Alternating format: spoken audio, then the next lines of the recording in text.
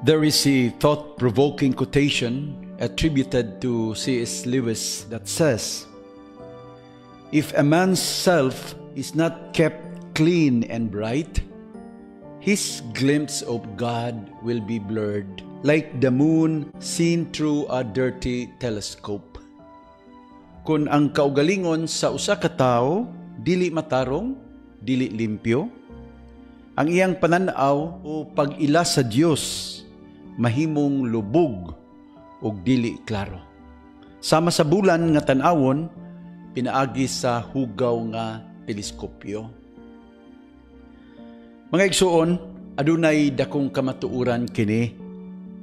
Ang mga tawo nga dautan og kinabuhi, hugaw og kasing-kasing, dili maayo og konsensya, dili gyud makakita dayon sa Ginoo. Dili sab sila makabantay sa mga lihok sa Dios. Dili nila masabtan ang mga mensahe sa Dios ug dili sab sila makarecognize sa iyang mga mensahero.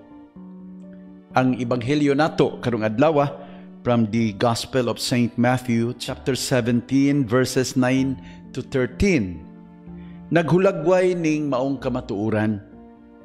Adunay mga tao nga nakakita o nakadungog sa mensahe ni Juan nga magbubunyag. Na-recognize nila kang Juan ang usa ka propeta nga pinadala sa Dios. Nakita nila kang Juan ang pagkatao nga susama kang propeta Elias ug nasabtan nila ang iyang mga mensahe ilabi na ang panawagan sa paghinulsol ug pagbag-o sa kaugalingon. Apan mga igsuon, mas daghan ang mga tao nga wala mo ila kang Juan ug wala maminaw kaniya. Gani matud pa ni Jesus, ila pahinuon siyang gipasipadaan. Si Juan mao ang bagong Elias nga nag-andam sa dalan sa Mesiyas, apan daghan ang wala maminaw sa iyang panawagan. Ngano? Tungod kay ang mga kasing-kasing ni mga tawhana mahugaw man. Nawadaan na sila kapasidad sa pagtanaw sa kamatuuran o sa pagpaminaw sa mensahe sa Dios. To understand God's message and to recognize His messengers. This is the issue of today's gospel. Do we have that capacity still? Mangutan na ta sa atong kaugalingon.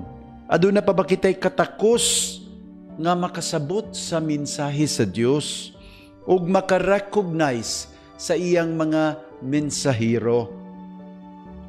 Mga igsuon sa pagkatinuod lang, kini nga ebanghelyo nakadisturbo kanako.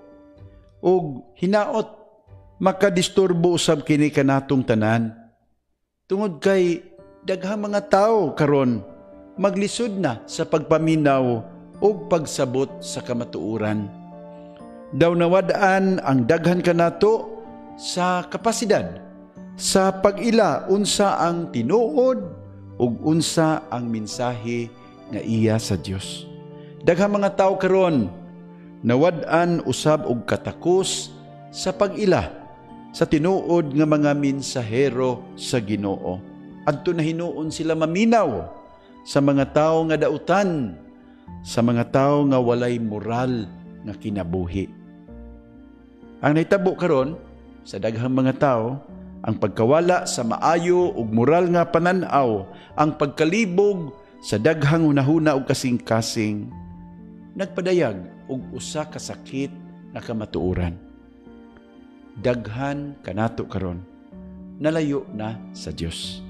Daghan kanato mahugaw og kinabuhi. Kini ang hinungdan ngano nga daghan kanato dili na makasabot dayon sa mensahe sa Ginoo ug dili usab makarecognize sa iyang mga mensahero. Mga igsuon, ning panahon sa Adbiento, angay kitang mamalandong o magsusi sa kaugalingon. Kumusta man ang atong estado at tubangan sa Dios.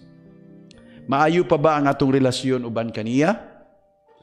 Kung dili na, ipaduol nato ug balik ang kaugalingon sa Dios. Ug hinulsulan nato ang atong mga kasaypanan. Sa paglimpyo sa kaugalingon, labing siguro mas maklaro nato ang mensahe sa Dios ug mas makita nato ang Dios diha sa iyahang mga sulugoon. And we always remember this, if a man's self is not kept clean and bright, his glimpse of God will be blurred like the moon seen through a dirty telescope.